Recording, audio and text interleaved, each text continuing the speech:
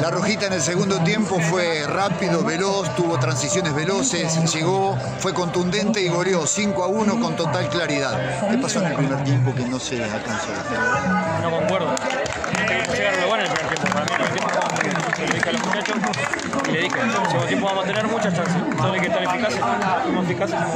Los pases que se dieron en el segundo tiempo tal vez no, eran, no iban con tanta velocidad y la marca del equipo isabelino fue más, más-. Este equipo tiene mucha intensidad, es fácil aguantar 90 minutos. La verdad, eh, Lutero lo hizo muy bien, pero bueno, también en el segundo tiempo tuvimos mucha eficacia y, eso creo que se, se en el resultado, pero es difícil aguantar el ritmo que, imponen estos muchachos.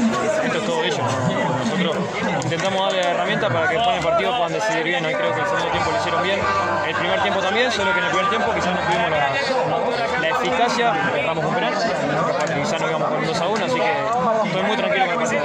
El equipo isabelino no fue el mismo. en segundo tiempo. Lo que pasa es que tenían que salir a buscarlo, luego que le hicimos el gol, tenían que salir a buscarlo. Bueno, no sé, supongo que lo había planteado el técnico para salir a buscarlo un poquito más adelante y bueno, cancha mojada, jugadores rápidos y lo supimos aprovechar. Pero bueno, esto tampoco nos puede anular. Así como nosotros hicimos cinco goles, también ellos pueden hacer esto es fútbol. Eh, sé que van a ser fuertes de local, hay que hablar.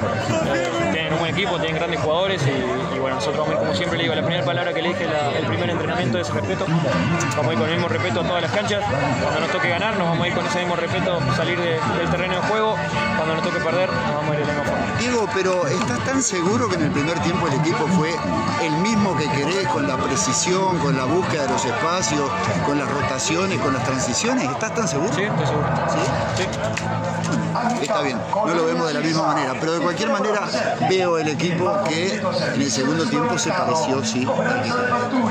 Hay contexto, hay un rival que juega, hay un rival que se mueve diferente, eso hay que analizarlo. Se puede analizar solo 11 contra 11, es un equipo que jugó bien en segundo tiempo, 20 minutos bien. ¿Por qué jugó mal? Jugó- ¿Por qué jugó bien? Es el argumento que hay que dar. En el segundo tiempo hubo mucho, mucho más espacio porque ellos salieron a buscarlo que nosotros lo hicimos el segundo gol. Entonces el juego ahí cambia, entonces se ve diferente de afuera. Pero bueno, son visiones, son puntos de vista. ¿Que ¿Quedó definida esta serie? Nada, lo acabo de decir. Nosotros hicimos cinco goles y ellos pueden hacer cinco goles también, por algo están en esta instancia, si no hubieran quedado eliminados.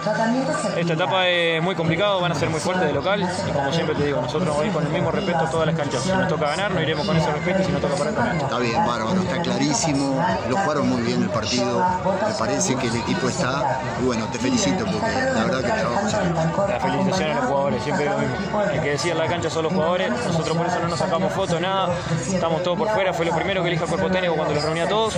Nosotros no entramos a la cancha, no nos sacamos fotos, no hacemos nada, esto es todos los jugadores. Diego, no me canté de errado, yo creo firmemente que la cosa viene de afuera. ¿Cómo? Que la cosa viene de afuera. Con un cuerpo técnico que no tenga las ideas claras es difícil conseguir los conceptos claros que tiene el equipo. Mi teoría es de antes que pite el juez cuando termina, 80-20 del cuerpo técnico. Cuando pita el juez hasta que termina, 80-20 de los jugadores. Así que este partido se juega de que pita el juez hasta que termina. Ese 80 o 90 de los jugadores. Claro, pero te lo tiene que entender.